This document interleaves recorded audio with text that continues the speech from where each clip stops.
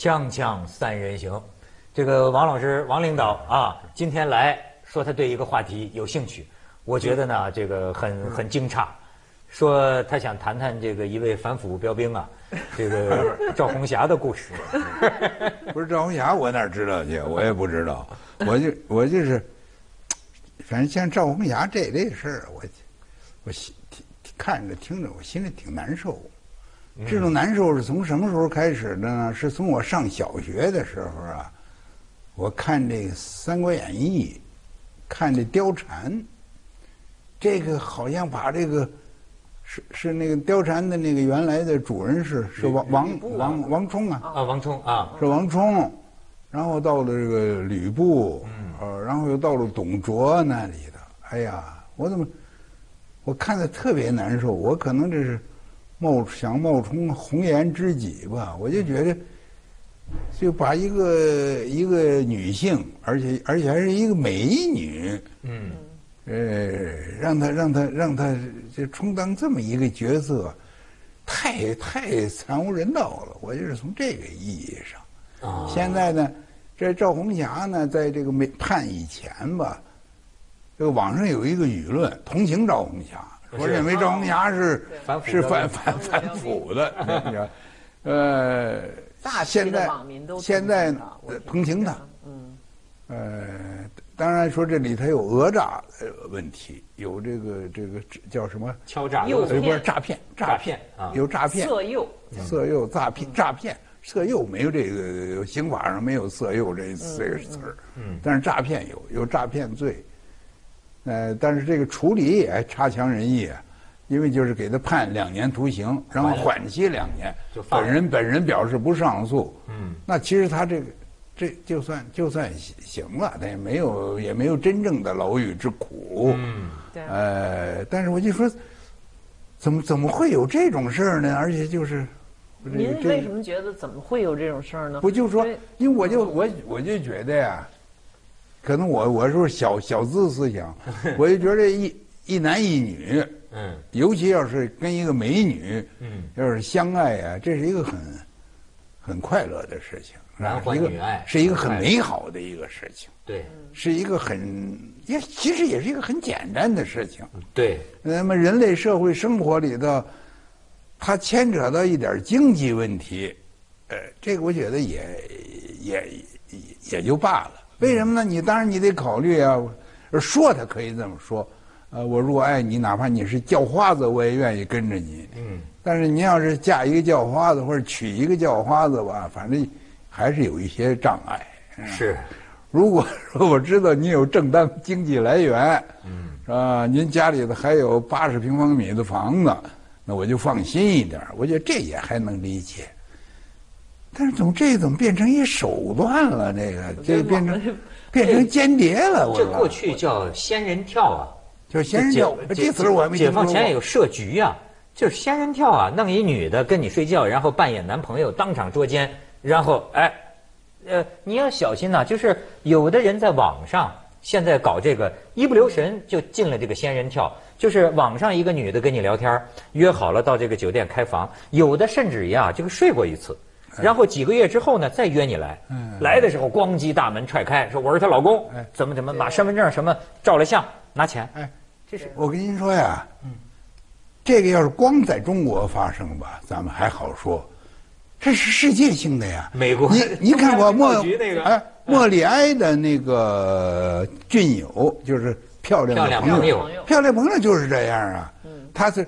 就是这个，他就是一个不择手段的人，他就用这种方法来搞他的政敌啊。是。现在全世界搞政敌用这种方法都有啊。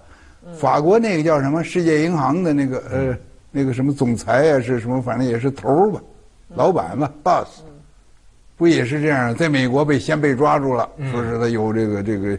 性侵犯问题连前不久这个叫什么默多克和邓文迪这个离婚都闹出一些谣言来，当然肯定是谣言了，就是说，就说啊，就是你看他脸眼睛两眼发光，就是说说是邓文迪实际上是色诱，啊，实际上背后呢，就是他是情报，呃，就是呃中国情报部门的高级特工啊，去色诱这个，当时怎么就红酒就正好洒那儿了呢？洒在那个谁身上了？包括在他怎么没没多少钱的时候就坐商务舱，不是先诱了一个高高管吗？然后又怎么着？到最后到了香港，又又是一个碰巧，又又色诱了这个谁？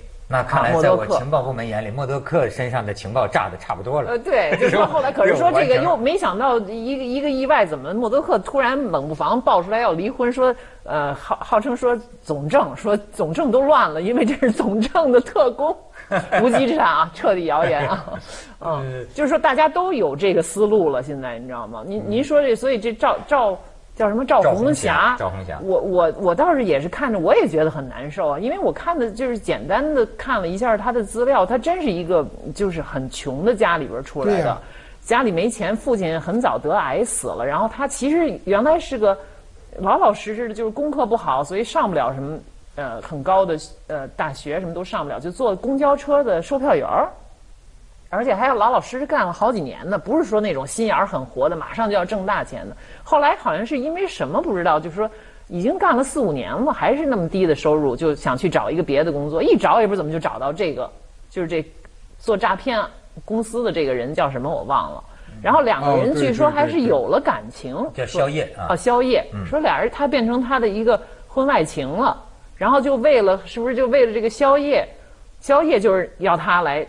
挣钱，这就是您说那种狼心狗肺的男人。就是你要是一个狼怜有点怜香惜玉之心的这么一个男人哈，说哪怕是我包养的一个二奶，我也不能把他再借出去再去赚大钱。看，显然是这么回事。而且听说好像就说这赵红霞就炸了这个雷政富也好，什么别的官员多少钱他都不知道，他都弄不清楚是多少钱，就完全是一个被用利用的这么一个工具。不是，咱们中国呀有四。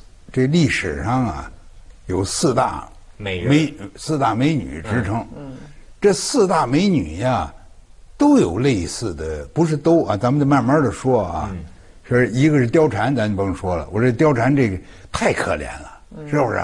她成为王充的这个这个一个一个一个工具。嗯，一会儿就成为，而且貂蝉还我弄不清啊，貂蝉怎么她还做的这么专业呀？就跟那个在。克格勃那个什么，或者是中央情报局受过训练一样，他那完全是专业水平的。那个他那个呃挑拨这个这个董卓和那个吕布的关系啊，能达到做的这么天衣无缝啊，这么行云流水啊。这我觉得是小说家，都是作家的 作家的功夫。作家不是，但他实际上他有问题，他有这个经历吧？有没有啊？貂貂蝉有原型吗？这是一个是貂蝉。还有这个西施啊，西施另一种，他不算色情间谍，算卧底呀。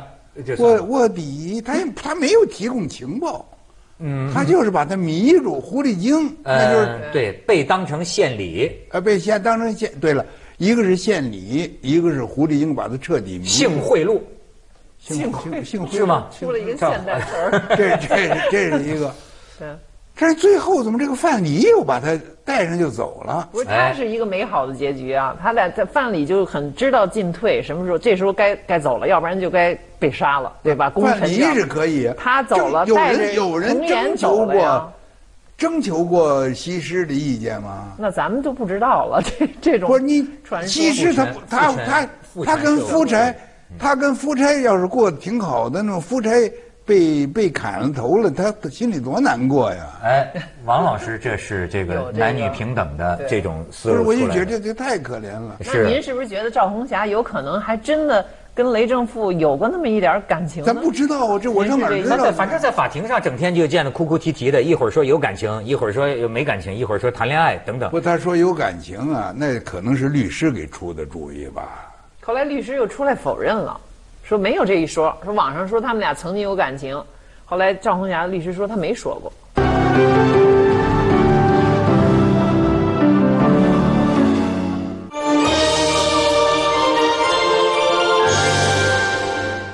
大学之大，在于大楼还是大师？我们反复强调，学校要建设一个优秀的学科，要请最优秀的教师。这时我们忽略了，我们学校的根本任务是培养学生的。新生报道该如何重塑人生新目标？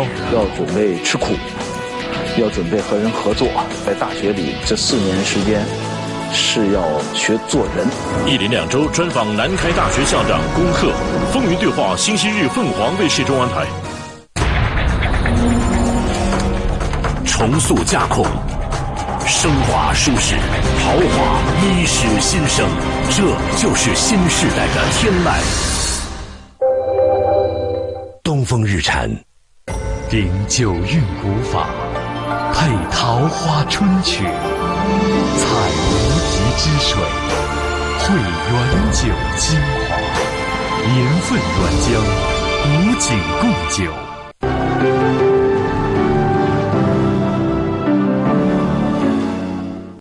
现在就说，真是说反腐这个口啊，从男女关系这儿下手，哈，确实是很很毒。但是呢，它又涉及到了一个人类最复杂的问题。我就觉得这个男女关系啊，它是很复杂的，就是有些手段或者是在具体过程当中发生的很多事情。你比如说，王老师说觉得这个难过啊，我也不知道为什么。就是近些年我看到一些事儿啊。这是我唯一的形容，也是就是难过，也说不清为什么难过，就是觉得跟你这个感受一样，男女关系，本来男欢女爱是一件简单，甚至说性生活，对吧？是一个简单而美好的事情，但是呢，最后你比如说啊，咱们曾经议论过的这个所谓的那个那个编译局的那位，跟那个博士后什么常燕写了十几万字的这个东西，把两个人之间的这个关系都弄出来。在前不久还有一个呢，就是说是中国一个什么某个电视台，后来那个电视台说他已经不在我们这儿了，这么一个女主持人，然后呢。